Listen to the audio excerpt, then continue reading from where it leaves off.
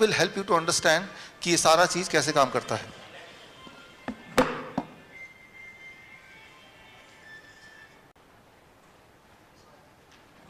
अब देखिए, यहाँ पे जो पानी है, पानी हमें ठीक नहीं कर रहा है, जो ग्रेविटी है, वो ठीक कर रही है। ये चीज़ मैं डेमोस्ट्रेट करना चाह रहा हूँ आपको।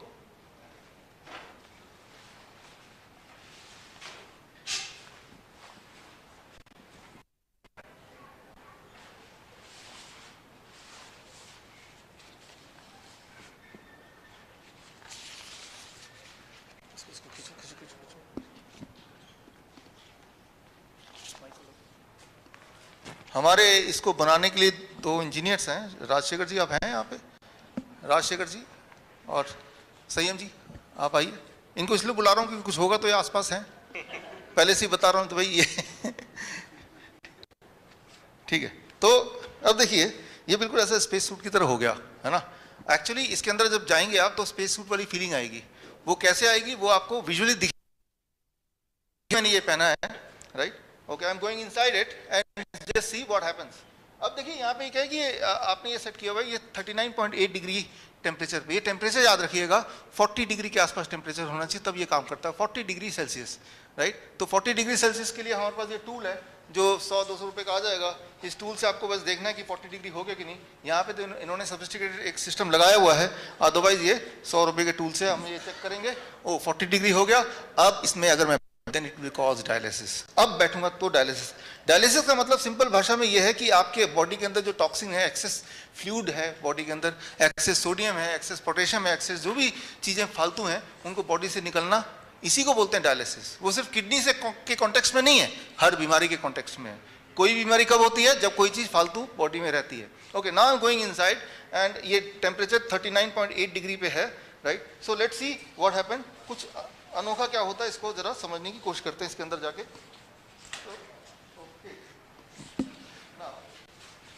अब देखिए कैमरे को आपको यहाँ से लाना पड़ेगा जो ऑनलाइन मुझे देख रहे हैं। तो जैसे ही मैं इसमें बैठ रहा हूँ तो 40 डिग्री टेम्परेचर पे जब आप बैठेंगे, ये मैं बैठ गया तो यहाँ पे ये देखना पड़ेगा, ये पानी यहाँ पे कम है, ताकि थोड़ा समझाऊं आपको, लेकिन पानी गले तक होना water level should be till the neck neck तक पानी होना चाहिए, तब ये काम करेगा। अब नेक तक काम करेगा। अब अब मेरे पैरों की तरफ़ देखिए, ये जो जकड़ा हुआ आप देख रहे हैं तो ये क्या है? हाइड्रोस्टेटिक प्रेशर है।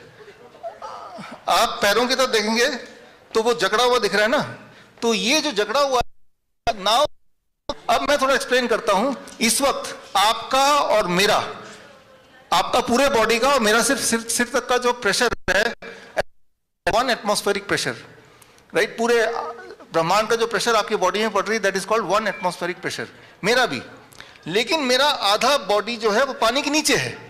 उस आधे बॉडी की जो प्रेशर है वो one atmospheric pressure plus the pressure of 20 centimetre on average the water pressure और दो प्रेशर झेल रहा है एक प्रेशर झेल रहा है जो एटमोस्फेरिक प्रेशर है वो एक वन एटमोस्फेरिक प्रेशर और एक और प्रेशर है जो पानी का हाइड्रोस्टेटिक प्रेशर है। हाइड्रोस्टेटिक प्रेशर जो है वो अबाउट दो प्रतिशत होता है एटमोस्फेरिक प्रेशर पे। सो so, मतलब मेरे बॉडी का आधा पार्ट में टू परसेंट ज़्यादा प्रेशर है और वो प्रेशर आपको विजुअली दिख रहा है, अगर आप मेरे पैरों की तरफ़ देखेंगे तो वो प्रेशर आपको नज़र आ रहा है। जब ये प्रेशर आता है और पैरों में इस तरह से प्रेशर पड़ रहा है तो क्या हो रहा है? पैरों का जो ब्लड है, वो ब्लड पैरों से ऊपर जाएगा और जो रिब केस में वो ब्लड पहुंचेगा। और रिब केस में ब्लड पहुँचने में अबाउट फाइव मिनट्स लगता है। रिब केस में जब ब्लड पहुँच जाता है, उसके बाद जो कार्डिक आउटपुट है वो 20 परसेंट बढ़ जाता है 20 परसेंट कार्डिक आउटपुट बढ़ जाता है। 20 परसेंट कार्डिक आउटपुट जब पेशेंट का बढ़ेगा तो उसका यूरिन आउटपुट बढ़ जाएगा, उसका सोडियम एक्सक्रीशन पाँच गुना बढ़ जाएगा, लगभग तीन से पाँच गुना। पोटेशियम एक्सक्रीशन बढ़ जाएगा क्रिटलिन क्लियरेंस बढ़ जाएगा यूरिया बढ़ जाएगा।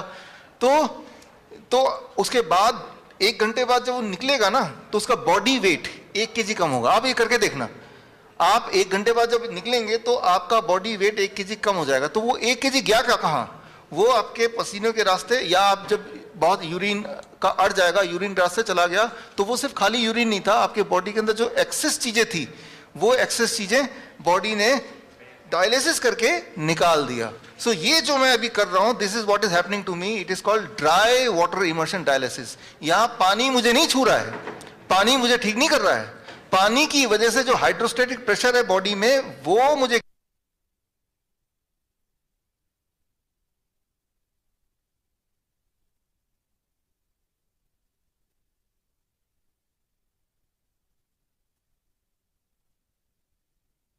बैठेगा तो वो 25 मिनट में थक जाएगा।